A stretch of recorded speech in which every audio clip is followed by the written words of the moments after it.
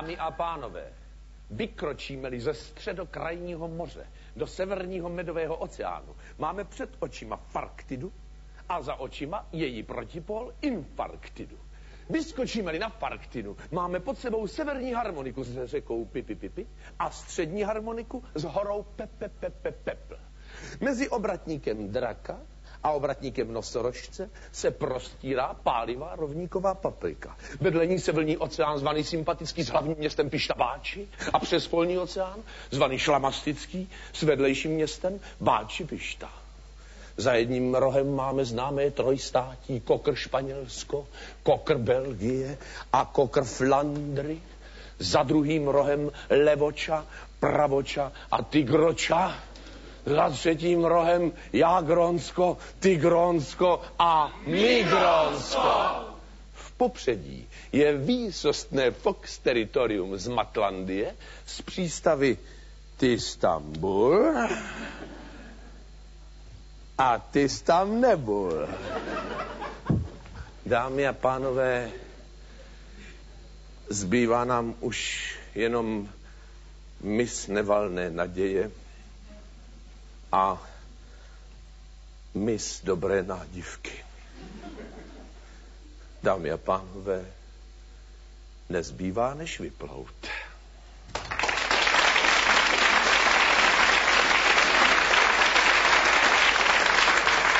Takže Dámy a pánové, vyplujme, pustíme se do toho. Já eh, bych mohl začít spoustou věcí, ale eh, dovolte mi, abych eh, začal vyprávěním o tom, co je předmětem dnešního večera. Já bych vás chtěl přivítat zde v Baráčnické rychtě. Proč v Baráčnické rychtě? Protože Baráčnická rychta to bylo místo, kam jsme před 24 lety poprvé s divadlem Husa na provázku přijeli hostovat. Lidé vzali tento sál v Praze útokem a e, ti, kteří nevěděli, o co jde, tak tady nedaleko kousek odsud je americká ambasáda, mysleli si, že tam je nějaká demonstrace a nebyli daleko od pravdy. Dnes jsme tady zase, Říkám jsme, protože mými hosty dnešní večer nebude nikdo jiný než kolegové, kamarádi a herci z divadla Husa na provázku. Prosím.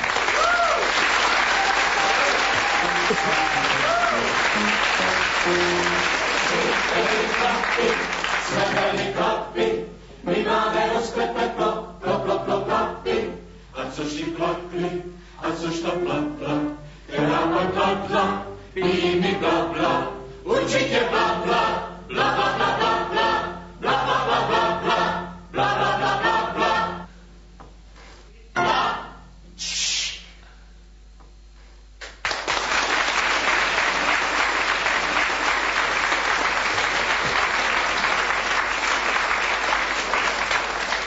Děkujeme za ten krásný úvod a pustíme se do toho. Začněme něčím, co je typické pro divadlo na provázku. Já bych začal, jestli dovolíte, soustředěním. Soustředění to je taková zvláštní věc v historii divadla na provázku. Vlastně si ho vymysleli dva režiséři divadla na provázku, Zdeněk Pospíšil a Petr Scherhofer. Zdeněk Pospíšil znal velitele skautu, který vlastnil komáří louku v jižních Čechách. Ta komáří louka se jmenovala výborně, protože v momentě, kdy jsme tam na konci srpna přijeli, přiletěli komáři a už nás nikdy neopustili. A tam jsme bydleli ve stanech a tam jsme vždycky rozeskoušeli inscenaci a e, vždycky jsme přijeli do Brna a tam jsme ji doskoušeli a jako první divadlo jsme měli premiéru a bylo to dobře, protože kritici se ještě nestačili vrátit z dovolených. A my jsme tam bydleli ve stanech, bydleli jsme ve stanech, byli jsme mladí, tak nám to vůbec nevadilo. Ke konci srpna už byla trošku zima, ale nedalo se nic dělat ve stanu, e, jsme se zahřáli jinými věcmi. A nad námi na velitelském stanovišti bydlel ve vyvýšeném stanu Petr Scherhofer, jeden z iniciátorů toho soustředění. Petr Scherhofer nás vždycky tak jako přehlížel, eh, co děláme, jak se to... A mezi tím si četl, četl spoustu věcí, protože on toho přečte nejvíc na světě. A my jsme se večer po práci, po intenzivní práci bavili zpěvem u ohníčku. Zpívali jsme eh, spoustu písní, ale mě utkvěla v hlavě a to si všichni určitě eh, vzpomenou. My jsme zpívali tenkrát, to byl velký hit. Kač, kač, kač, kačena, nasype ti zeleného jáčmeňa. Kač, kač, kač, kačena, nasype ti zeleného jáčmeňa. No a Petr Šíle, ten chodil, říkal, co to děláte? Už zase lalalajujete nebo co? Co zpíváte? Ještě jsme se ani neusadili a už kačenují, jo? Protože Petr Šeraufer pocházel ze Slovenska, pocházel z Bratislavy, přestěhoval se do Brna, v Brně prostě se usadil, žil a žije tam dodnes a tvoří a, a my jsme zpočátku ani jeho připomínka nerozuměli, protože některé ty jeho připomínky byly nádherné. Řekl, musíš to hrát, Miro, tak, aby ty zimobriavky tíšily po těle. Já jsem vůbec nevěděl, o čem mluví. Ale až jsem to pochopil, tak mi bylo dobře. Ale taky říkal nádhernou věc, že já musím mít vždycky pravdu, rozumíš? Peterko, kdyby se aspoň jednou mýlil, ale ne, zase došlo na tvoje slova a to, a to opakoval pořád a my jsme tomu uvěřili a je to dobře. Ehm, my jsme jednou na tom soustředění s Frantou Derflerem šli z hospůdky, protože do hospůdky jsme taky chodili vždycky po skončení pracovní doby. A vraceli jsme se a teď jsme slyšeli takový křik eh, Petru z dálky, Petr Šaraufer se dovedl bránit a říkal, to já jsem neukradl, to udělal Fritty, nebo, nebo já nevím, pizza možná, rozumím, já jsem vlajku neukradl, jo. My jsme totiž udělali těm scoutům jednu věc. No my Peca to udělal. Peca ukradl doopravdy vlajku scoutu a dovedete si představit, co to je ukrást skautům vlajku, že jo? Ti šíleli normálně, jo? Taky na nás e, zautočili a Petra Šaraufra to postihlo a oni ho vedli, věkový průměr měli 13 let, a oni ho vedli tím lesem a teď my jsme s tím Derflerem šli tím lesem proti němu a předstírali jsme, že je nás hodně. A tak jsme si stoupili vždycky za ten strom a říkali jsme, okamžitě opuste, chcete do držky? No to, no, co to znamená? Okamžitě uvolně ruce. A oni, kolik vás je? Hodně. Tak oni ho pustili, utekli, Šaraufra uvolnili a on přišel za náma a říká, rozumíš, mě vytáhli ze spaní, ze stanu a vůbec co ty jim zřejmě ukradl vlajku, já vůbec nechápu, co se stalo, no, nedá si nic dělat, no, jsou to svině, no, ale když už to, když už eh, takovýhle přepadení nastalo, tak to víte, že jsme toho dokázali využít. Zdeněk Pospěšil, druhý režisér, o kterým jsem mluvil, ten zase naopak takovéhle věci prožíval, že jo, ten byl od mládí v tom skautu honěný a teď my jsme mu řekli, hele, přepadli nás skauti a on, sekírky do ruky, tak Všichni jsme vzali sekírky a teď, kde jsou? Říkám, u jídelny. Tak jsme všichni mazali k tam jsme čekali, teď tam nikdo nebyl, jo? No říkám, jdeme zpátky, proč? Proběhli u lesa, dobře. No jsme šli k lesu, čekali jsme u lesa, tam taky nikdo neproběhnul. Kde jsou teď? Říkám, nevím, čekej tady, my se jdeme podívat. Šli jsme s Frantou Kosourkem a Truda, to byla naše sekretářka, ředitelka, nápovědka, inspicientka, herečka, prostě na co měla zlovna při své hmotnosti chuť. A ona spala ve stanu a děsně chrápala tenkrát, jo. Nám to strašně vadilo, tak jsme vzali nože s Frantou a odřezali jsme jí tu tu, co měla na tom stanu a ona spala pod širým nebem. Vůbec si to nevadilo, ráno se probudila, na ní byla jinovatka a chrápala na celý les a děsivě a burácivě, jo. Ale e, pro nás to bylo strašné pozdvižení, protože samozřejmě tyhle ty věci nás hrozně bavily na tom soustředění a nejenom to. My jsme tam měli taky někteří, e, nebudu říkat konkrétně kdo, ale byli tam i první začínající vztahy, že jo. Tam třeba e, kdo se David směje, bývá postižen, že jo? Ale tam byly takové začínající vztahy. Třeba my jsme jednou s Frantou Kocourkem šli kolem jednoho stanu, který se mírně vlnil a odsud se ozývalo oh no, oh no, oh no, podpořeno takovým jako eh, mírným zadýcháváním se a to. A Franta říká, počkej, půjdeme na příslech, jo. Tak jsme přišli k tomu stanu, teď jsme to poslouchali a furt se ozývalo, oh no, oh no. Franta, moment, počkej, moment, vydeš chvilku, Miro, jo. A něco takhle vzal, já jsem vůbec nevěděl co, jo. A hodil to do toho stanu, jo. Ještě chvilku se ozývalo, oh no, oh no, ty, my tady máme ješka. Teď se rozškrkl takhle ten zip na tom stanu, vykoukl ten postižený a říká, jste ale prasata.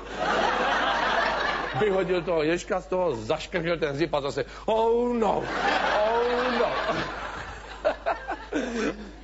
Pavel Zatloukal, když tamhle, já bych vám rád představil, Pavel Zatloukal, většina z vás ho jistě zná, Pavlík Zatloukal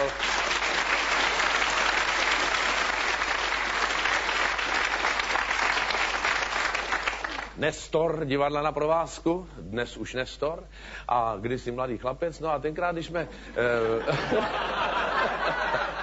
ti, kteří ho před válkou pamatují, tak vědí, o čem mluvím. A, ale Pavel Zatlouka tenkrát on eh, šel z jedné zkoušky do lesa a potřeboval tam takový ten bohatýrský postoj, že jo, jak tak chlapi v lese občas stávávají u těch stromů a e, potřeboval si chviličku tak jako postát a e, teď přišel houbař jo, k němu a říká, co tam děláte na té louce? No, dejte pokoj, hledejte si hřibky a... No ne, já se na to tak dívám, něco tam zajímavého probíhá. No, tak tam probíhá, no, hledejte si, rostou vůbec. A ne, to mě teď nezajímá. To tam na to koukám, to vypadá, jak kdyby divadlo jste dělali. Jo, děláme divadlo, vypadněte a sbírejte si dál ty prašivky a dejte pokoj. Jako. No ne, no, vezměte, já tomu trošku rozumím, já jsem hudeček z národního režisér, víte. Dobrý den, pane režisére.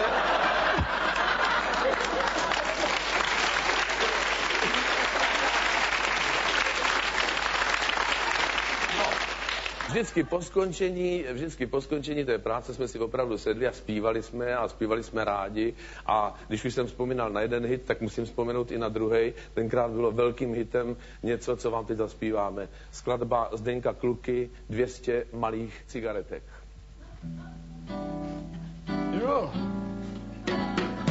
No, no, no.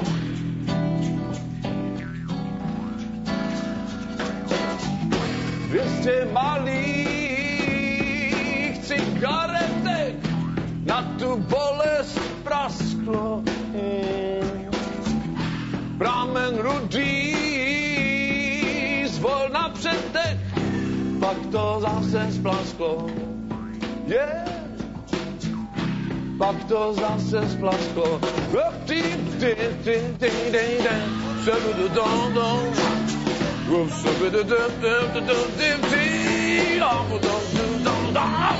Steklý vítr nám cestou přehnal paladické smetí. Štíplo v očích, osud žehnal směšné síle dětí. Směšné síle dětí.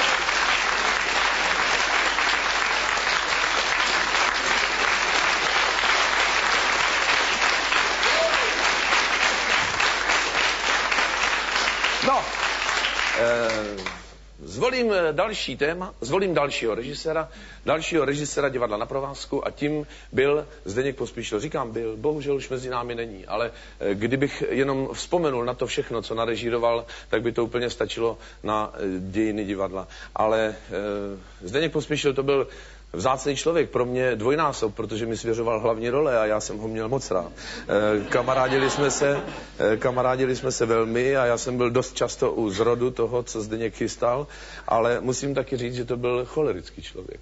Byl to člověk výbušný, energický a expanzivní a dokázal udělat eh, neskutečné věci. Například se svým tatínkem, který byl významný stavitel, postavil řadu přehrad v této republice, stavěli jednou verandu k domečku a když už ji měli celou hotovou, tak eh, jeho tatínek stavitel mu říkal, dej tam Zdenečku pětistovku hřebík, to bude lepší. A Zdenek řekl, ne, to stačí, tatínku, to, co tam je, to úplně stačí. Ale já si myslím, že Zdenečku ta pětistovečka to po, určitě jako pojistí, víš? Ne, já si myslím, že to stačí naprosto v pořádku. Zdendo, já ti říkám, dej tam pětistovku a víc už nemusel říkat. Zdeněk vzal sekiru a rozblákl verandu na cimpr jo?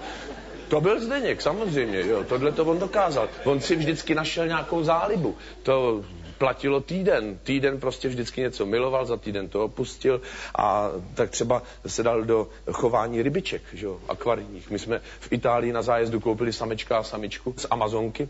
On říkal, přijedeme s tím zpátky, oni se vytřou, jo, a budou nás živit, celý divadlo. Za tím účelem koupil spoustu akvárií a naplnil to vodou. A my jsme přijeli z té Itálie, jsme jeli tím autobusem, tak jsme dojeli do Udine a tam zdechnul sameček. A potom jsme e, přijeli eh, do Mikulova a tam zhebla samička. A tak on přijel zpátky domů, teď ty akvária tam plný body a on to rozmlátil všecko prostě a vytopil bolka polivku, který u něj bydlel v podnájmu tenkrát. To, to další období měl nutrie, on začal pěstovat nutrie. On udělal potok za domem na lesné, kde bydlel, pouštěl tam vodu z vodovodu, vytvořil potok, jo. Tam udělal kotce, nutriema to naplnil. Pak e, začal pomalu pochybovat o tom, jak to vlastně s tím chovem je. Pak dokonce od e, kožešníka si nechal zjistit, kolik kožichů se z toho vyrobilo. Oni mu řekli, to bylo tak na čipicu akorát. Tak to přivezl autem eh, k tomu našemu divadlu a říká, běžte tam dolů, vyberte si každý nutriu, je to dobrý na jídlo. Jako, jo. On tohle to nosil i do divadla samozřejmě sebou, tu náladu, i to, co zrovna prožíval, to, jakým způsobem zrovna něco obdivoval. My jsme tenkrát zkoušeli pohádku Máje, to byla úžasná věc v té premiéře. Ta pohádka Máje byla něco fantastického. Já jsem hrál Ríšu už proto to bylo fantastické taky, že já jsem hrál milovníka a z toho vidíte, že to bylo dávno. Eh, Iva Bytová hrála Helenku, do té jsem se permanentně zamilovával celou dobu, co jsem byl na provázku. Eh, ve všech hrách jsme spolu hráli partnery a já jsem mi zpíval zpíval krásný písničky a ten Zdeněk nevěřil tomu, že to dopadne dobře. A když bylo před premiérou, tak řekl, nechám vás v tom, sami si to vyžarte, já na to nemám náladu a odešel. Jo?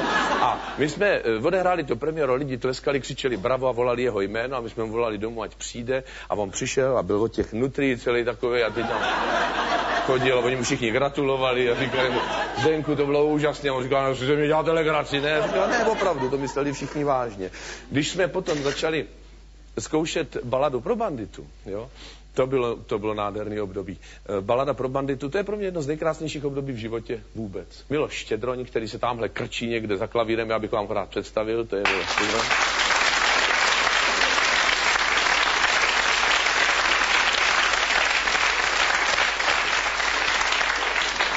Nejskromnější profesor v republice. No.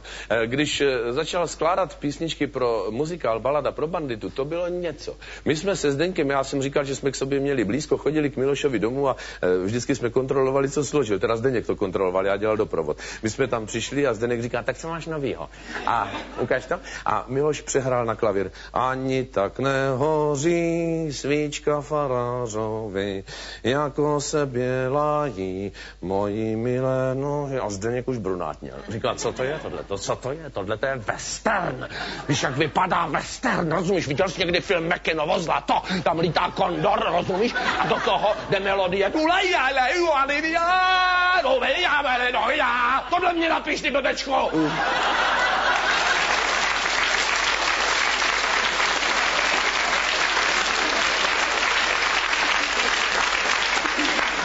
Roztrhal mu ty noty, vyházel mu to z toho okna, jo, ale co na tom bylo nejpodstatnější? My jsme druhý den k tomu Milošovi přišli a on sedl ke klavíru a zahrál Ani tak nehoří svíčka farářovi, jako se bělají moji milen. A tohle to složil na základě těchto připomínek, čili to mělo prostě...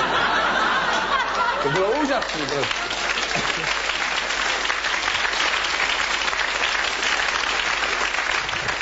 Já si půjčím rekvizitu.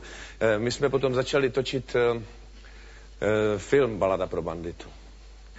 Musím říct, že tam jsem se poprvé v životě potkal s dirigentem, který se jmenoval František Belfín. Já jsem to vždycky četl na konci titulku u každého českého filmu. Fizio, filmový symfonický orchestr, dirigoval František Belfín. Mě vždycky vrtalo hlavou, proč se ten člověk nemenuje Delfín?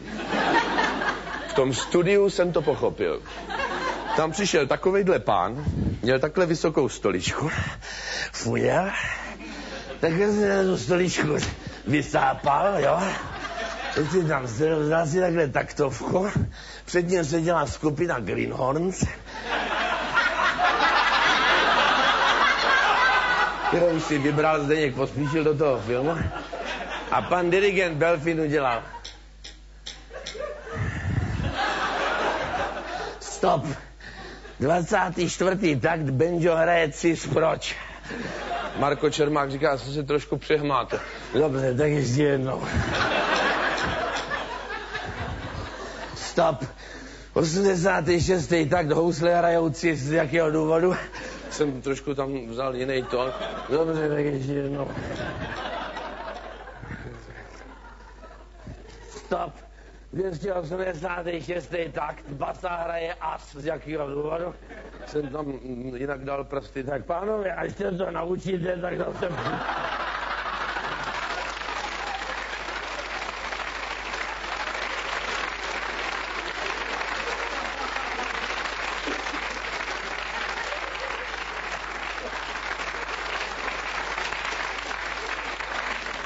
No jo?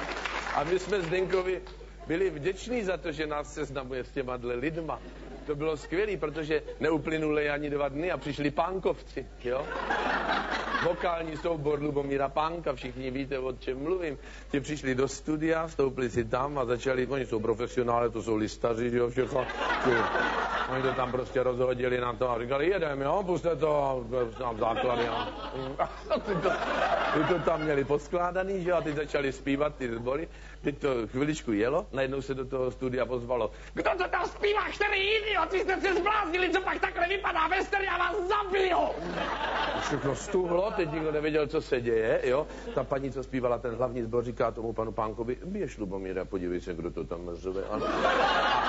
Lubomír šel, přišel do té režie, tam seděl takový stichlý hudební režisér za pultem, vůbec ani nemrkal. Vedle něj, vedle něj stál eh, skladatel Vlastimil Hála, který dělal dohled nad Milošem Štědroněm, protože ten ještě nesměl sám do studia.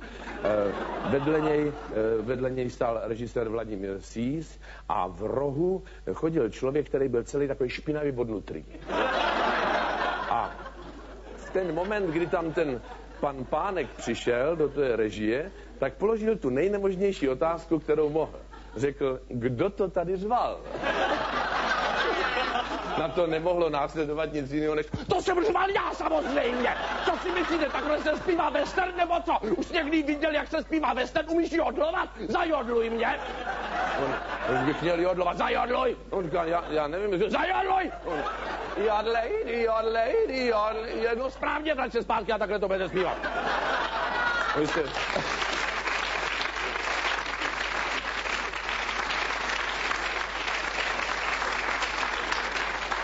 To bylo neskutečný, pač oni se vrátili zpátky do studia a zpívali to v těchto těch intencích. Pak se tak skamarádili, že po všech těch písničkách chodili vždycky za tím Zdenkem pospíšenem, říkali, pane režisére, bylo to takhle správně? No, nebylo to špatný, ale ještě byste mohli trošičku přidat, no uvidíme příště. No, no, no. Bylo to bezvadný. Já jsem eh, říkal, že pro mě to bylo jedno z nejšťastnějších období eh, v dosavadním mém životě. Vzpomínám na to rád a vzpomínám na to rád taky kvůli jednomu člověkovi, kterého bych speciálně rád přivítal dnešní večer. Protože tento film režíroval a prosadil do dramaturgické linie tehdejšího Barandova eh, režisér Vladimír Sís. Vladimír, já tě vítám.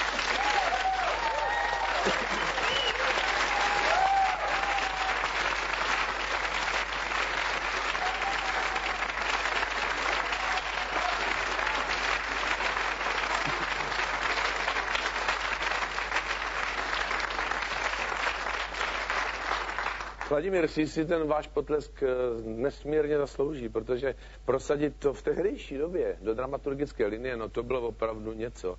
A já eh, si myslím, že eh, jsme toho všichni využili, jak se dalo. Samozřejmě víme o těch chybách, že Vladimír si budeme nalhávat, který tam jsou a tak, ale s odstupem času hodnoceno dnešními měřitky vlastně už to oslovilo několik generací a to samo o sobě je přece nádherné.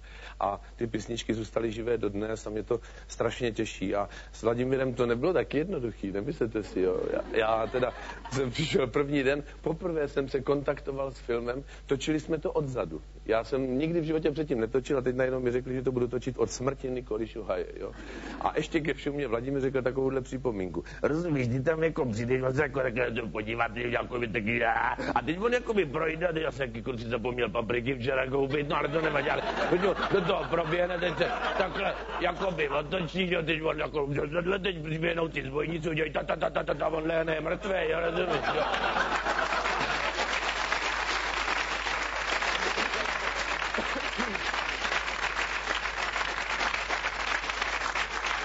No, to byla připomínka k víno, jo. Já jsem teda trošku z toho byl zpočátku len, ale pak jsme si všichni zvykli a, a naučili jsme se Vladimíra vnímat a, a dopadl ten film tak, jak dopadl, ale eh, on taky Vladimír je pěkný sedmilhář, já si ho proto vážím, protože my když jsme se, eh, my když jsme se eh, potkali a teď on najednou řekl, já zavolám zítra Ele, jo, a my na něho koukali a až teprve za chvilku jsme zjistili, že myslí Elu Fitzgerald a mysleli, mysleli jsme si, že on, že on lže, prostě, ne, to je jeho kamarádka. Pak jsme pak řekli, že to vyřídíme s Armstrongem a on se s ním zná prostě, jo. To jsou takovéhle úžasnosti, které jsme eh, s ním potkávali dnes a denně. Teď navíc on nám vyprávěl takový příběh, jo. On nám říkal, že jsme byli v Číně, že jo. Tam, tam lítali špačci, byli tisíc, co byly desetitisíce, miliony špačků, teď to nalítávalo na ty vinice, že jo. A teď oni ty Číňani, oni to nezabili, takže by to stříleli, oni to utleskali normálně. Ten Číňan, on dostal úkol, každý Číňan, že utleská 10 špačků, to akorát tak vyšlo, že jo, matematicky. Jo. Oni tleskali, že jo, a ty špačci oni nemohli sednout a oni popadali mrtví všichni. A my jsme na něho zírali a Bolek Polívka, který je ornitolog, tak mu říká, prosím tě, Vladimír, no ale... No. Hrgo, kdy tam museli být taky eh, Rorís a Raroch a Síček a Vlaštovka a Koňadrá, to ne, tam byli výhradně špač.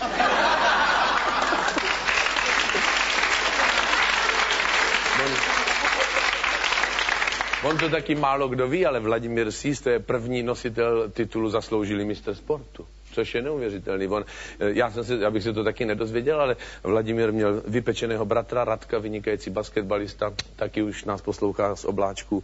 Ale to byl eh, člověk, který říkal, eh, on Vladimír totiž, on slezl jako jeden z prvních českých lidí vůbec a z režisérů určitě první osmitisícovku v Nepálu, že jo. A říkám, no neblázně. Říkal, jo, oni ho do sedmi tisíc vyvezli jeepem a od těch sedmi tisíc ho nesli šerpové. On přišel nahoru na ten vrchol, tam udělal dvakrát. Oni ho honem snesli zase těm jeepům, pak ho svezli dolů, tam už čekal odsloň, to byl šéf, tenkrát ČSTV a ten mu dal oznak, zasloužili mi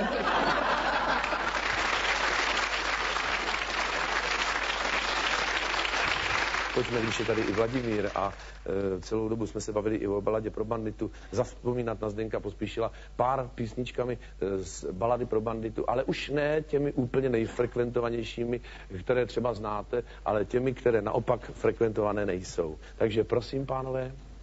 Thank you.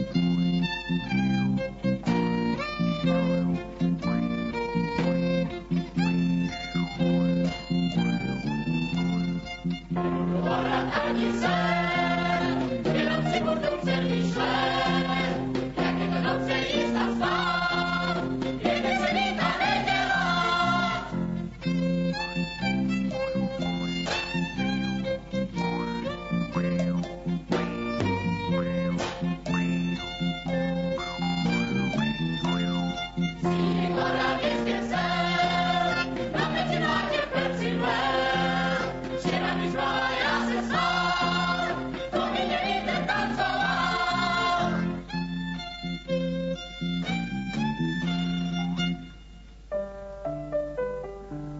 Povídej, milá mamince, že jsem s tebou ležel v postýlce. Ale pověz, pověz tátovi, ať ti kolébečku zhotoví.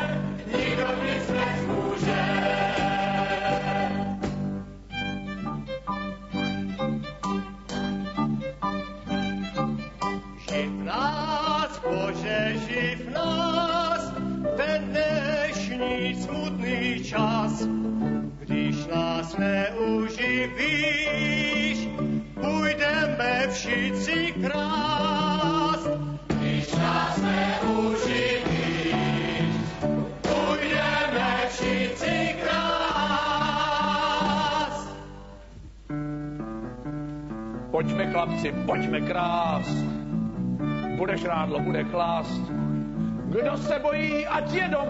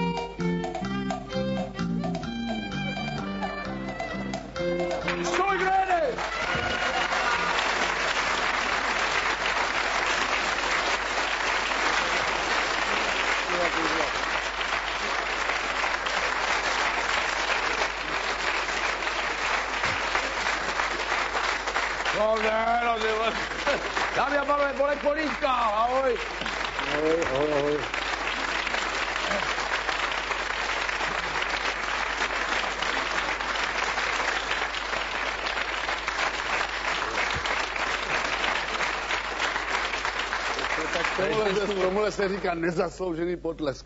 Trošku, trošku mě štve, že tě poznali dřív než já, člověče.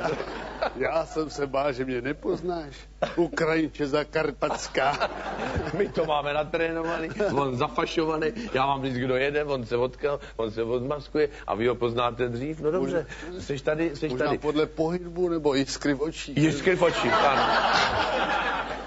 Jiskra v očích je nezaměnitelná. My, když jsme se s Bolkem eh, na dnešní večer domlouvali, a to jsme zrovna točili s Honzou Řebejkem film, který se jmenuje Pelíšky, a my tam hrajeme bráchy, tak eh, Dva. taky dva, no.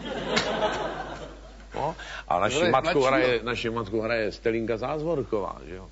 Hraješ mladšího. Hraju mladšího. A větší potvora seš. Jo, a, ale hezčí takový zase je ten brácha, ne? Jako ten můj? Ten... Stelinka Zázvorková je nejhezčí. A dobrá maminka. Dobrá maminka, dobrá. no. My jsme si ji strašně oblíbili a ona nás taky. Ona nám při tom natáčení, ona mi říká, jeden den já jsem tam seděl v šortkách, měl jsem kraťasy takovýhle nohy holí a jsem měl přehozenou nohu a ona mě říká, člověče, ty máš pěkný nohy. Ne, že bych teda nějak na tebe sexuálně nebo... I když i to bych mohla. Skvělá, že jo? Ona už to chápe trošku jinak, přece jenom je to starší žena, takže ona už tu použitelnost vidí jinak, že? A, ale pozor, ono tam tady ty, takový ty intergenerační tam, tak jo, u filmu jsou intergenerační vztahy.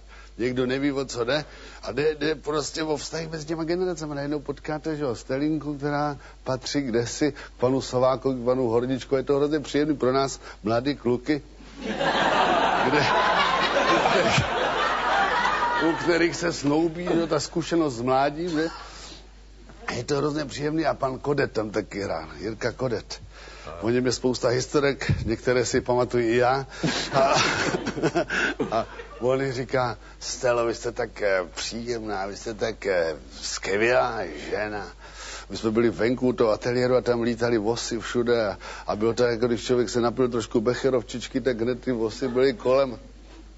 A Stelinka ráda becherovčičku a on říká, vy jste tak příjemná, skvělá žena. Paní Stelo, já si k vám, já si snad kvůli vám kleknu na vosu. A to je krásné vyznání lásky, jo? nebo tak je přátelství, kolegiality. Taky, eh, taky tam nesmíme zapomenout, on by nám to taky nezapomněl, hraje režisér Jiří Krejčík, 80-letý čipera, že jo, a to je úžasný člověk, já jsem se s ním poprvé No, setkal. 80 letý. 80 letý Čiperu čipera. bych vynechal. Ne, je to čipera. Nechme, nechme to. Je to čipera. 80. Teď ty jsou to, on přišel za mnou, on mi říká, on mi říká, pan Krečík mi říká, vy jste o mě řekl, že jsem si žral kravatu. Já říkám, já jsem u vás nic takového neřekl, řekl jste to, jste to náral na desku. Já říkám, to není pravda, já vám to přinesu zítra. Říkám, tak se vsaďme o, o šampaňsky, třeba o bednu, klidně o bednu. Druhý den přišel, mlčel, že jo, nic neříkal, furt chodil, Stella Zázvorková mu říká, no to byste ale měl, pane jste to jako Mirkovi říkal, tak byste mlčel Zázvorková. A furt bylo ticho, jo, a furt nic. A oni potom odešli do studia, já jsem tam s ním zůstal sám a on se ke mně naklonil, říká, to o mě řekl přeučil. říkám, no tak, vy jste si to ještě mě spletl, jo? A on říká, ne, to ne. A už přišel Bolek a už jsme do něho jeli. Tak vraťte, no, dejte si duša. Jo, šampanský to Šampanský, no, dejte. A on, nedám se duchoce. Já bych rád to nikdy nesežral, prosím vás. Já říkám, no, kdybyste si posolil... ale nechtěl, nechtěl to šampaňský dát. My mu říkali, tak dáte tu bednu toho šampaňského? Ne, on říkal, ne, já jsem duchodce. A my jsme mu říkali, máte honorář, to je jedno, je malý. A když odjížděl, když odjížděl, tak z toho taxíku ještě takhle vyndal to okýnko a dval. A nedám, a nedám, a nedám, a odjel. Jo? jo, máme strašně rádi.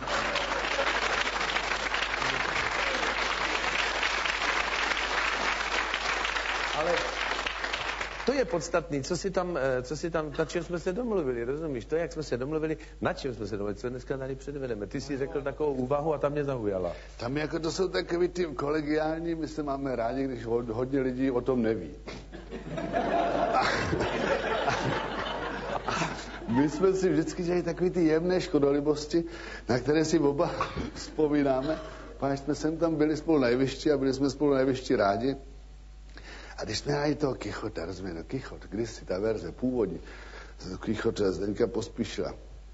A teď je, ten Kichot tam říká prostě věci takové etické, takové velké. No a on hrál Sancho Panzu, on ten lid. A teď to bylo vlastně podle Jona, že? A Jon to napsal během okupace a ta druhá okupace byla zrovna tak, tak se to tak krásně neslo tím, tím, tím nádvořím renesančníma. No a Mirek, protože hrál toho Sancho Panzu, tak on za mnou tam dělal opičky, rozumíte, jo? Já si nechci stěžovat na něj. Ale když předu prostě se něco odehrává, ne, hlavně hraju já, jo.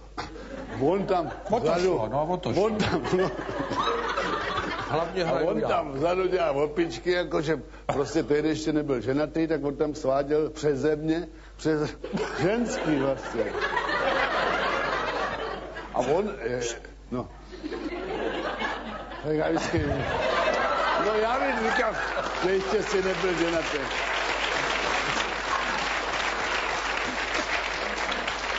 A, a já tam hraju takový krásné věci, rozumíte? A ty žensky se všechny tle, tlemí na něj za mnou, rozumíte? No tak samozřejmě se mu to nemohl furt odpustit, říkám, Mirko, nech to. A on mi řekl, samozřejmě, byl, ženský mu byl přednější než já.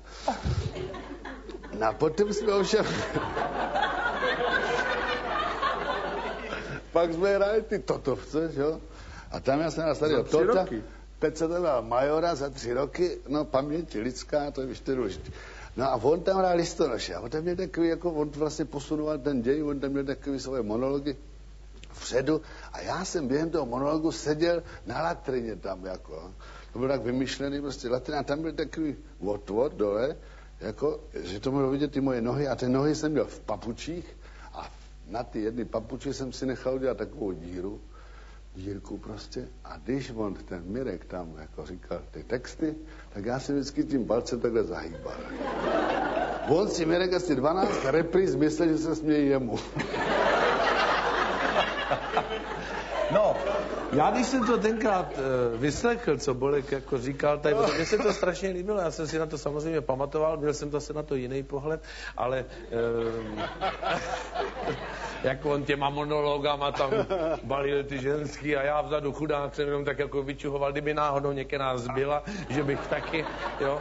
Eh, vůbec mě to ani nenapadlo, že by zbyla, ale no, eh, říkal jsem si, tak si to prohoďme jednou. Já si to nezahraju nikdy v životě, rozumíš, no, Kichota? Nikdy v životě, no to, na to nemám figuru. Ty nemáš teda figuru na Sancho Panza, ale můžeš se vycpat, když bys chtěl, jo? A my si to můžeme prohodit a zkus si dělat ty šprťochlata, jestli na tebe budou zabírat. Jestli si, jestli se budou smát, Ty děvčata asi se budou dívat na mě nebo na tebe. Tak. Já bych to teď, prosím vás, dívejte se pozorně, já budu hrát do na Kichota. A dívejte se pozorně na mě, děvčata, pane, já vás mám taky rád. Hleď, Sancho, tam od 30, ba více obrů proti nám. Obohatíme se. Vezmeme majetek, kterým títo obři oplývají. Nacpeme si jimi své kapsy a vrátíme se do svých domovů. Pohled, Sancho, Ti obři proti nám nemají naději. A jestli chceš dělat za mnou tyto špumprnágle, tak se běž do rohu. Běž se do... se na tebe. Já tady jsem na tvojí Je to fakt, že... No. Udělejme ještě jeden pokus teda. Pojď si dát toho pošťáka z těch totovců a já si dám za tebou toho starého tota. Dobře, jo? ten text já neznám. Text máš tady, to je nachystaný všechno, nemyslí si to, já mám tady všechno připravené, i se škrtama to máš tady udělané. Abys nebyl zbytečně dlouhý. Tak, máš to připravený. Tak. Počkej, to mám říkat tohle? To to říkej, no. A já za tebou To budu toho starýho donutil, torta. donutil v závorce polivka podtržení.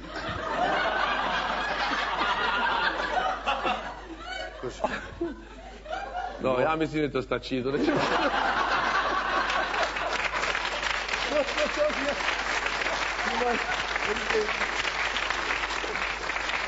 Ty máš Paleček, to byl máš tady ukázaný. takhle nachystaný? Paleček byl ukázaný a všechno bylo přichystané. E, přátelé, já bych vás teď rád upozornil na jednu věc. E, když jsme hráli baladu pro banditu, všichni jsme tam zpívali, e, všichni jsme měli písničky. Taky hráli jsme to na takové šikmé kládě, to pro mě bylo zděšení, protože když jsem přicházel k divadlu, tak najednou jeřáb takhle vynášel kládu nahoru, tam, kde jsme měli to sídlo našeho divadla. Říkám, co se děje? A říkají, pospíšil se rozhodl, že budeme dělat baladu pro banditu. Říkám, a co s tou kládou? Budete to hrát na kládě. A to byla zešikmená takhle kláda, dlouhá. No, a na tom jsme my chodili, tančili, zpívali, jásali, milovali se, všechno jsme Tehdy si Mirek a, vysloužil přezdívku Bosák. Ano, bosák. a kladina. A eh, Bolek s Pecou, který jediný neprošli, že jo, u konkurzu. My jsme neprošli konkurzu a pospíš říká, tak bude, budou vodit mikrofony. Nechtějí zpívat, budou vodit A mikrofony. dostali tyče, dostali takový dlouhatánský tyče, na konci byl mikrofon a těma nás takhle, jo, zvuč- zvučili na té kládě, no, zvučili, no. Lovy bez zbraně To šílené. Co, co ti nám vyváděli, to byla naprostá katastrofa. Já si, já si pamatuju vždycky přede mnou ten mikrofon, že jo, teď já šel za ním, jo. Teď jsem se otočil a co tam už? Víš? No ono totiž, já jsem měl za úkolem, jsem měl to, že Jirka ho vedl, na ty tyči ho vedl a bosák prostě šel po té kladině elegantně a teď se měl otočit a byly ještě čtyři takty a on měl přiblížit se k mému mikrofonu, který tam měl tak lehonce připlout jako na ty tyči. No já jsem přis, ten mikrofon jako lehonce jsem připl, ale takhle. A teď si představte, že se otočíte a máte to. To můžete být stokrát bosák, to padáte. Nádherně. Já na to nezapomenu, samozřejmě, ale ty se z toho taky nevykecáš. Dneska budeš zpívat. No jo. Ta uh, písnička, která tenkrát ti chyběla, tak dneska ji máš. Miloš Štědroj napsal Ježiše, dodatečně no. písničku, Milan Uhdej otextoval dodatečně a tak dneska ve světové premiéře uslyšíte dodatečně, Vladimíre, dodatečně složenou písničku do balady pro banditu, kterou zpívá Magery v podání Boleslava Polívky.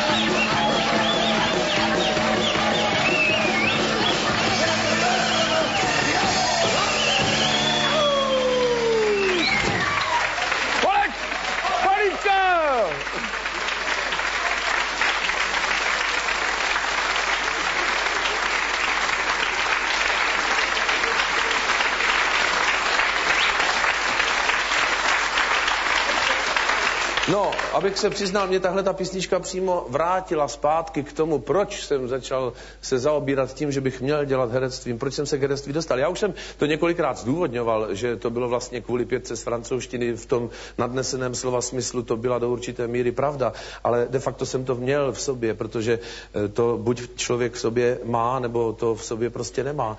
Moji rodiče, jak maminka, tak tatínek se zaobírali ochotnickým divadlem, oba v Třebíči, kde jsme se všichni narodili. Moje maminka vstoupila na jeviště Třebíčského ochotnického divadla už v pěti letech v Jiráskově Lucerně jako družička a měla předat kněžně, která přijela na návštěvu svou kytici. A stála na tom jevišti a teď nevěděla evidentně, co má dělat. A pan farář, který zároveň dělal nápovědu a režii, v portálu říkal, podej kitku. A ona stále nevěděla. A on znovu zopakoval, podej kitku. A potom maminka pronesla svoje první slova na českém jevišti. Podej kitku. A se mnou to šlo celou dobu. Já jsem e, se dostal vlastně k přijímacím zkouškám na Janáčkovu akademii e, muzických umění takovým zvláštním způsobem. Na gymnáziu, kde jsem studoval, jsme měli profesora, který nás učil psychologii, čili měl by něco o životě vědět, a taky o psychologii a o filozofii a tak dál. A on mě říkal, vy chcete jít na Janáčkovou akademii, tam se dostanou jenom inteligentní, blbové ne.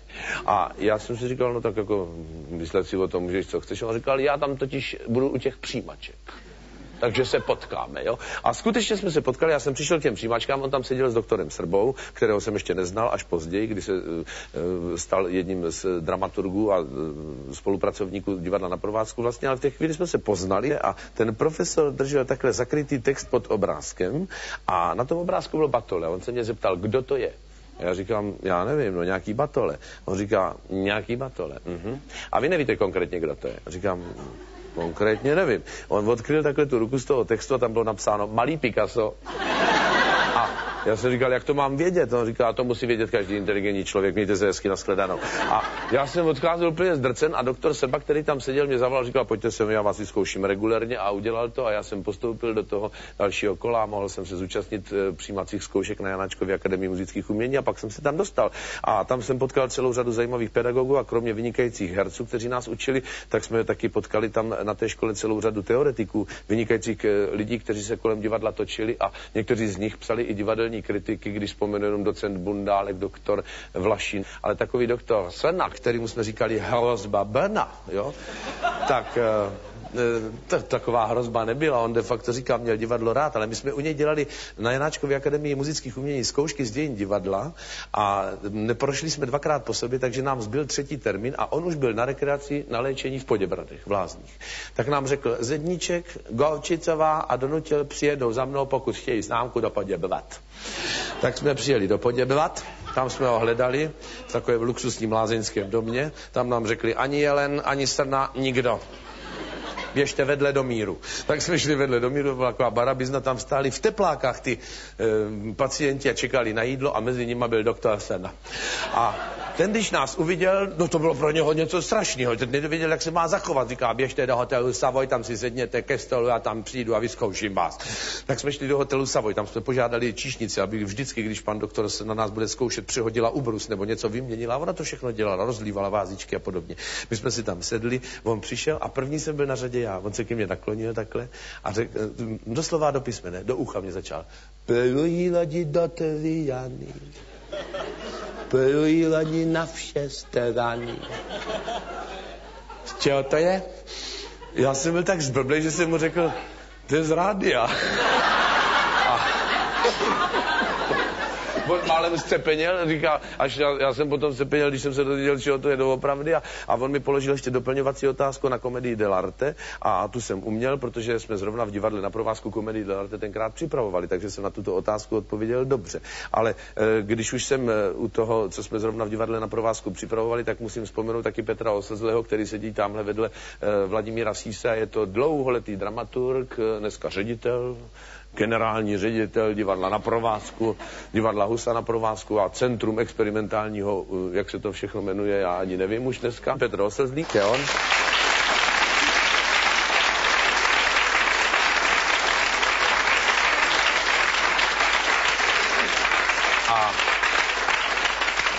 Tento dramaturgii v divadle na provázku a v huse na provázku, a jak se to, totiž já musím furt vysvětlit, proč já se v tom pletu. Tamhle možná vidíte ten plagát, tam je napsáno husa na provázku, že jo. V určitých momentech, ob, v určitých obdobích tomu husa připisovali k. Jo? Proto my jsme museli to zkrátit potom a přilepit to a jmenovalo se to na provázku a já tam byl v tom období. Ale teď už se to zase jmenuje Husa na provázku, takže budu říkat Husa na provázku. Čili Petr Oslzli musel čelit tu, různým tlakům při různých schvalovačkách. Tenkrát byly schvalovačky, to už dneska je slovo téměř neznámý, ale nám třeba schvalovali hru, když si jenom tak namátkou vzpomenu, že hnej vám pán Bůh, pane Rosewater, Kurta Voneguta a ta komise přišla a ten jeden člen té komise říká, to v žádném případě neprojde, pracující by to nestrávili, eh, že hnej vám pán Bůh musí pryč. Jo? A my říkali, dobře, no tak v pořádku, jak to škrtneme, tak tam zůstane pane Rozvotr. To je blbý, no. Pane Rozvotr, to je blbý. Tak škrtněte i to pane. Tak se škrtlo i pane, teď tam zůstane Rozvotr, no. Teď co to vlastně je to rozwater? A Petr Rosleze říká, to je v překladu růžová voda. To je název. jo? To byly takovéhle schvalovačky, které tenkrát probíhaly a naštěstí už to všechno pominulo. Eh, teď je takové místo, kdybych měl vzdát hold třetí významné režisérské osobnosti divadla Husa na provázku eh, a tou režisérskou osobností není nikdo jiný než Eva Tálská. My jsme spolu měli velmi složitý vztah, Evo, já to samozřejmě nebudu rozvádět, my jsme k sobě tu a tam nacházeli cestu, až jsme ji konečně našli, tak jsem odešel. Ale eh, já si Evi vážím natolik, že oni budu mlčet. Ať za ní mluví její dílo, ať za ní mluví ukázka z inscenace, kterou ona režírovala. Edward Lear, Antonín Přidal, příběhy dlouhého nosu. Nejste vy ten šílený muž z města Bzence, jenž hledá smysl existence? Uh-uh. Není tady někdo z Bzence? Přece Arli.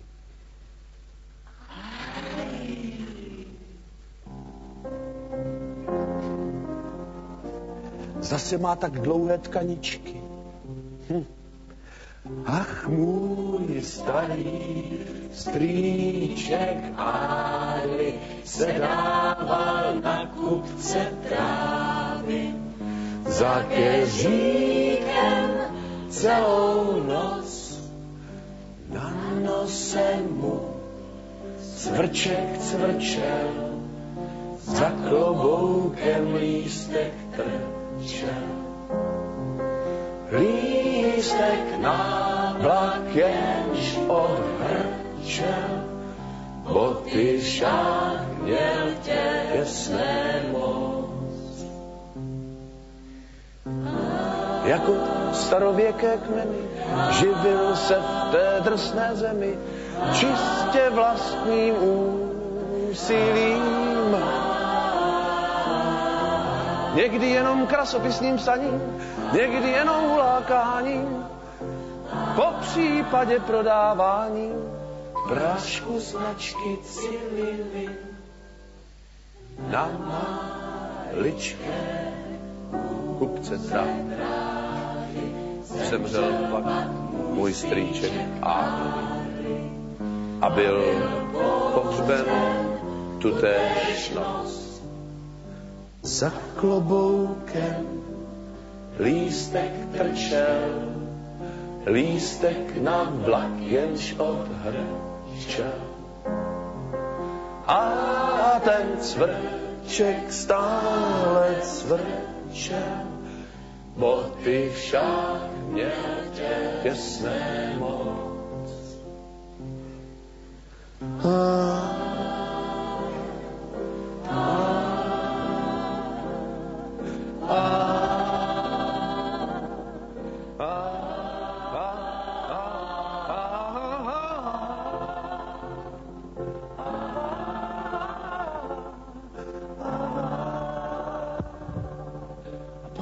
Pozdravujte v Bzenci. Pozdravujte v Bzenci. Pozdravujte v Bzenci. Pozdravujte v Bzenci.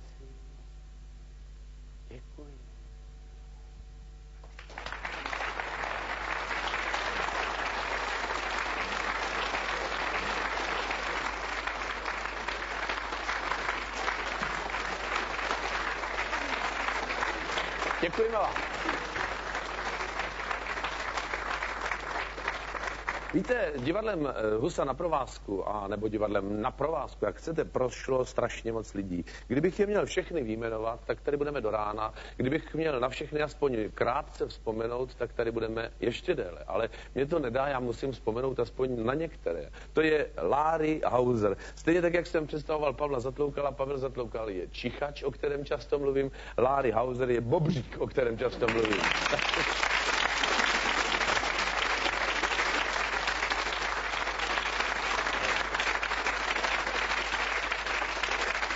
Larry Larry Hauser eh, je už u nás v divadle, vlastně já furt říkám u nás, protože já nikdy nepřestanu tohle divadlo považovat za svý. Larry eh, Hauser je u nás v divadle už jako proslulý člověk, protože on si pamatuje všechny texty. My jsme nikdy neměli nápovědu u nás v divadle. Na co, že jsme nikdy nepotřebovali, že Jsme měli tebe, tak co jako tě, Ale e, my jsme nikdy neměli, neuměli, neuměli ty texty tak, jako je uměl on. On uměl všechny texty. A my jsme dělali třeba, kolikrát jsme na něj dělali takovou habaďuru, že jsme jako zapomněli, jo. Já třeba jsem měl říct, já zítra přijdu a zabiju ho, jo. A ty jsem zahrál. Já zítra přijdu a... Když jsem na Larryho dělal, a Larry, no? Co? Co? Zabiju. Cože? Zabiju ho! Řekl Larry, jo? A teď všichni nechápali, co se děje, pač ho řekl po jindu úplně jiný postavy. To bylo, on byl, hrál do té doby Míru Milovný a najednou chtěl zabíjet, jo? No, e, každopádně s Larry, my jsme toho zažili teda hodně nejenom v divadle, my jsme taky spolu točili, dokonce jsme dělali animovaný film, my jsme jako animované figurky s Larrym, to je neuvěřitelné, jo? My existujeme na malování, jo? A e, já jsem s ním točil film s Jurajem Hercem, který se jmenoval Straka v hrsti, tam jsme hráli dva padouchy a ten film byl e, zajímavý v tom, že vždycky, když jsme točili ty scény s takovým tím, pamatuješ, tím hubeným hercem, jo. Eh, já jsem neviděl tak hubeného člověka, to byl nejhubenější chlap snad eh, v, česk, v dějinách českého filmu. Ten vždycky on hrál takového dlužníka a věřitelé ho honili a on k nám přiběhl a my jsme s Lárym byli v žumpě dole, aby nás nebylo vidět, takovou roli jsme měli. No. Tak jsme čekali, až nám padne tenhle ten hubený do náruče a když nám tam padl, tak to udělal. Říkám, stalo se vám něco? A on říká, no mě ruplo žebro, no. Říkám, to je blbý, ne? Jako, no to si nevšímejte, já jsem takový papírák, mě to doroste. No, tak dobře, no. Tak jsme vlastně dali do akce, druhá klapka, jo, on se proběhl, nás nám padl do té do náruče a se... Tam zase něco duplo? Jo, dvě žebra, no. Říkám, no to už není normální tohle. Tak jsem šel, říkám na toho herce, říkám, Juraj, prosím tě, pojď sem tady chlapovi prdli dvě žebra. A on přišel, říká, Kerimu, tady tomu, mám prdli dvě žebra? Říká, ne, mě nic neprdlo. Tak co kecáš, člověče, no, točíme dál, jo. Jel po třetí, dopadl nám do náruče, další tři, jemu ruplo šest žebera, dostal 126 korun za filmovací den.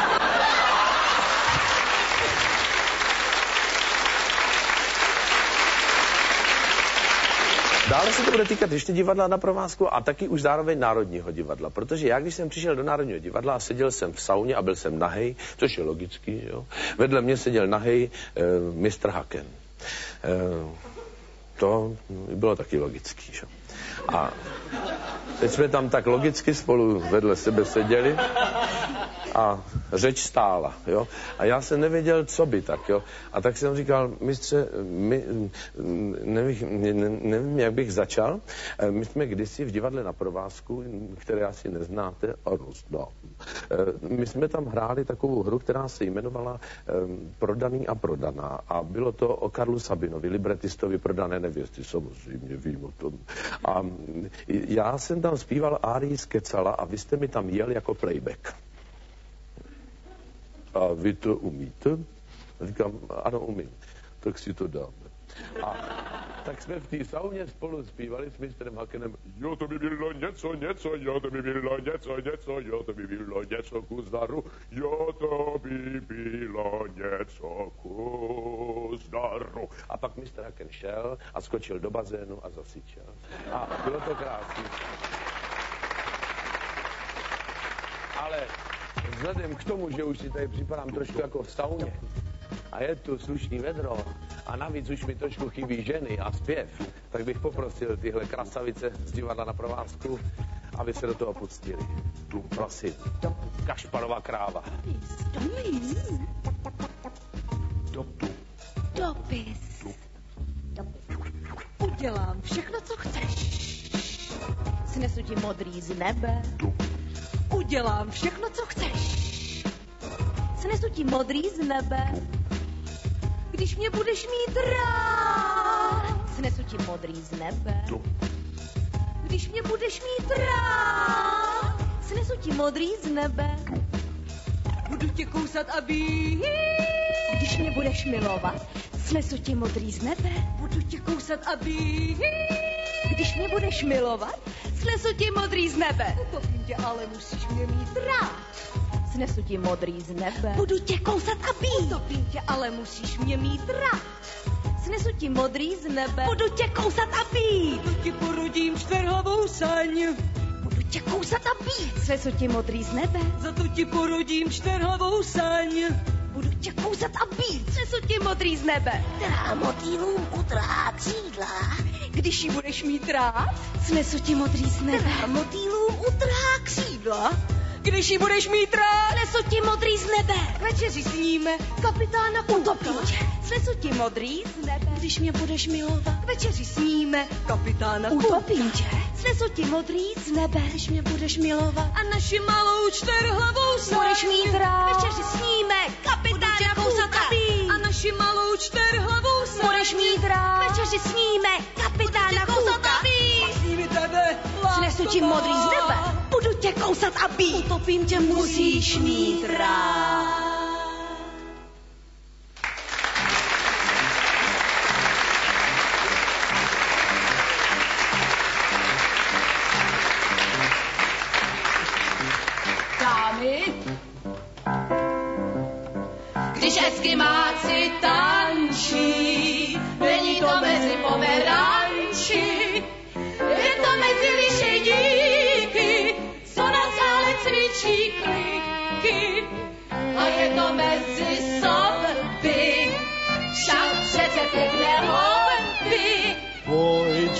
V iglu mé, ze snížku udusané.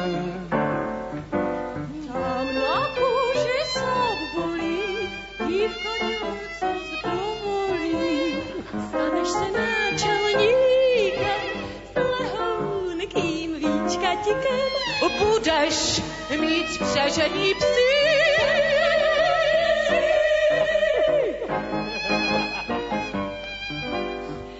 Eskimáci tančí, není to mezi pomeranči, je to při polární záři, hranostej se za skalinou páří, aby bylo dosti kůži, až se dívka zvolí k muži.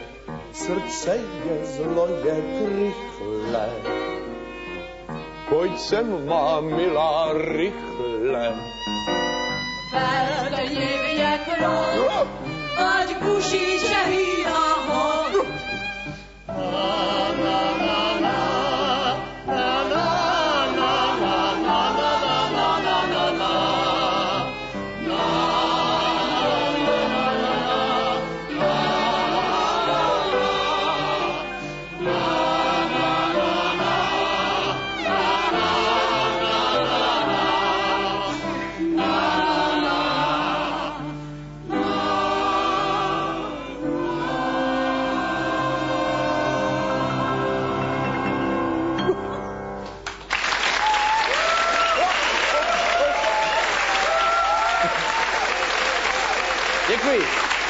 Děkuji moc krát.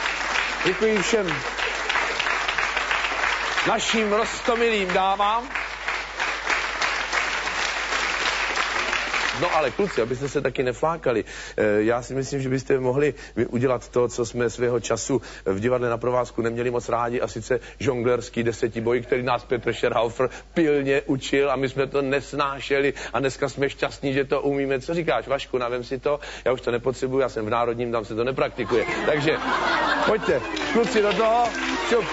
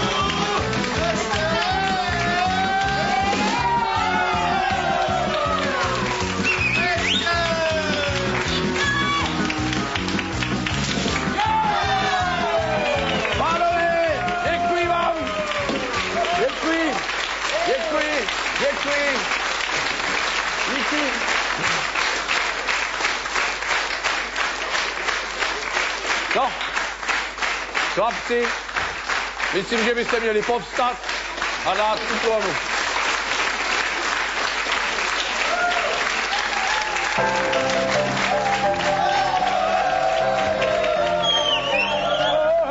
Já jsem tu veliký redaktor, gnozeologie, osvětový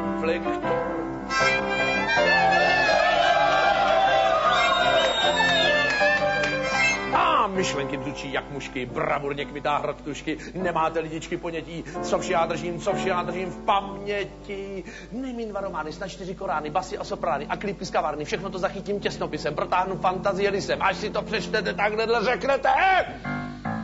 To je ten veliký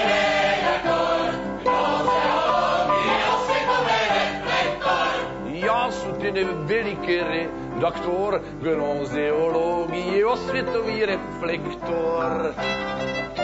Pane Vilce, no já vás vítám. Poslyšte, já mám pro vás takový návrh. Já bych s váma sepsal knihu vašich pamětí. Jste pro? No já, ono se řekne knihu. Ale zaplatíte to? No o tým dostanete slušný honorář. Pojďte, půjdeme na rychlík a pojedeme ke mně do Brna. Ale pak rychlík, to já pojedu porzonku. Rychlík ten není pro obyčejného člověka. A tak Jan Velcel spolu s redaktorem dorazili do Brna Forzonko. Vítám vás u sebe, pane Velcel, prosím, posaďte se. Tož já, kde jsme to přestali? Já, kolik stojí v oběd v Brně? Eh, Já nevím, eh, kolik teď stojí v oběd v Brně? 50, 50 no, Jedno, 50 korun. Tak v oběd v Brně stojí 100 korun. No ne, no teď říkala 50, ne? No to pro ňu, pro takovou žinglu. Ale tím pádem, že já jsem kapitán náčelnický, tak třebuji takový obědy dva. No tak dobře, no tak abyste viděli, jak já jsem člověk, tak já vám zaplatím ty obědy 200 korun, já si to píšu, tak. Tož pište. Jo.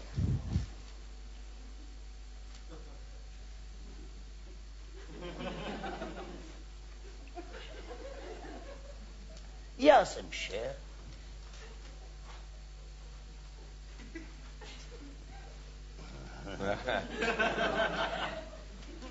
Já jsem šel To máme jednou. na daleké sever pěšky.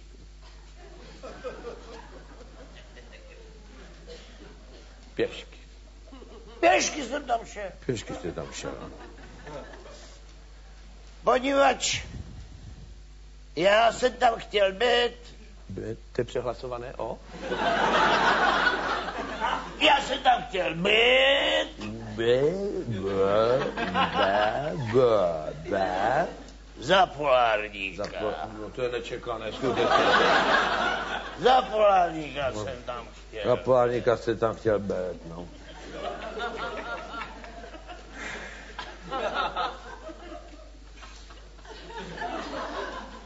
Prosím vás, pane Velce, to takhle nejde, nezlobte se na to, nemáme čas, uvolněte se, udělejte si pohodlí trošku, soustřeďte se na to, uvolněte se.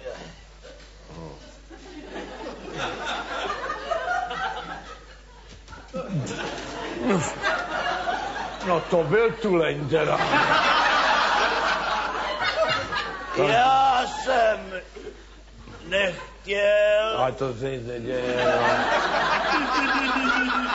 Stalo se, stalo se, no. To... Já jsem nechtěl. Je jedno, ale tak mi se to taky někdy stane, rozumíte? Taky mě to ulítne, co naděláte. Já jsem nechtěl, abych já se musel na někoho oblížet. To, to jsem pochopil. To je... Jestli mám dělat tak, A nebo tak, jo. alebo jinak. Nebo jinak.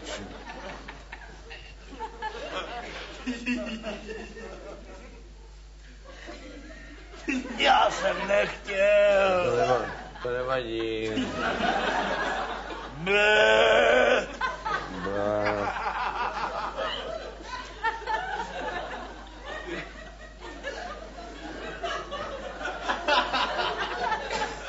Už nic víc.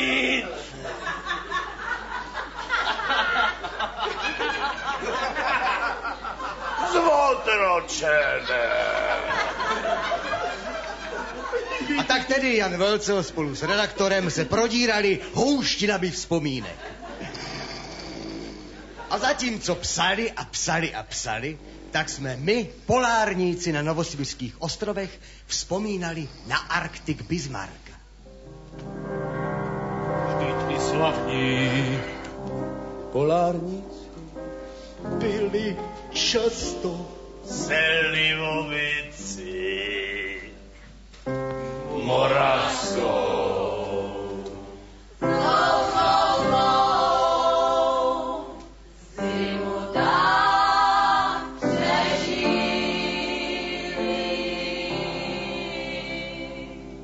Protože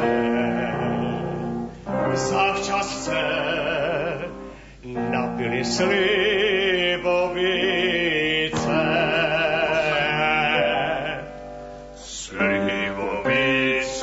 Co červen, červen ani v líce.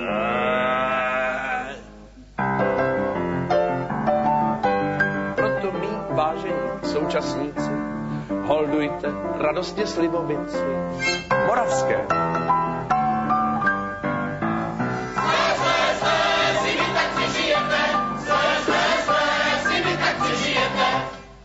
Se zavčas napijete, když se zavčas napijete, Přežijete. kdo nepřijme tu radu s díkem, Stane se prach špatným polárníkem.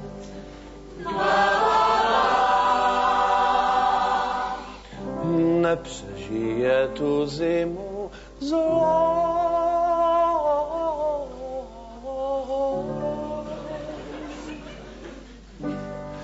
Nas pačivice zemi, zemi, moravskoj.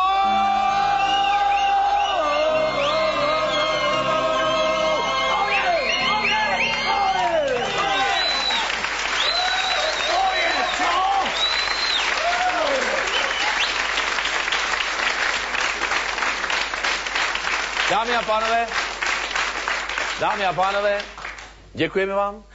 Já pevně věřím, že se vám tady ve Všebanáčnické rychtě, doufám, že říkám ten název správně, líbilo, stejně jako se nám líbilo mezi vámi. Doufám, že se i vám u televizních obrazovek líbilo to, co jsme vám tady dnešní večer předváděli. Já bych vám chtěl všem poděkovat za tu krásnou atmosféru a vám za vaši pozornost a popřát vám šťastné a veselé Vánoce. Mějte se hezky. Dobrou noc. Thank you.